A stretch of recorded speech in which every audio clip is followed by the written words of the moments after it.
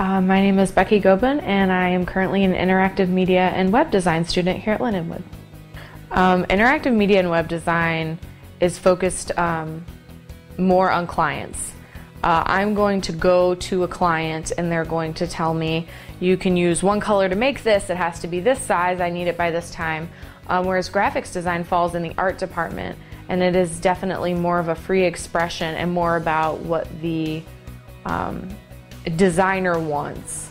Uh, when I go to a client as an IMWD major, I'm not going to them with what I think is going to always look best or what I want or what size I want something in. Um, although I do give advice, what I'm looking for is what does the client want and how can I achieve the client's ideals and the client's feel um, in the best way possible. Uh, um, the most challenging part of interactive media and web design is believing um, that you are finished with something and truly knowing that you are not going to be finished or you may never be actually finished. I'll come into a professor um, and be so excited with what I did, and they say, Well, this is good work, but you could be great.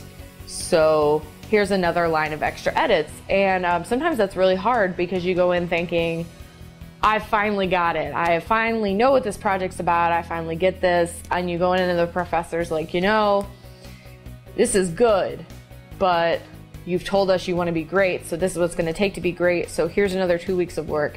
And that can be really devastating, but it's also really great at the same time because you get a lot of encouragement through that. Um, a lot of times, interactive media and web designers um, take offense when someone wants to change the color or change the placement or change the feel.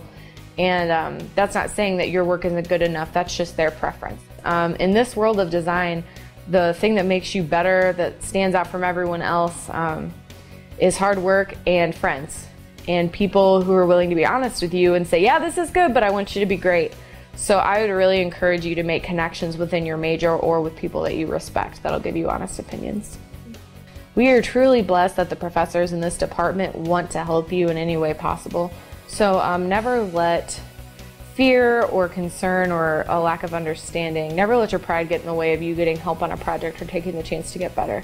Do your best to excel because we are really lucky with the technology and the help that we have in our department.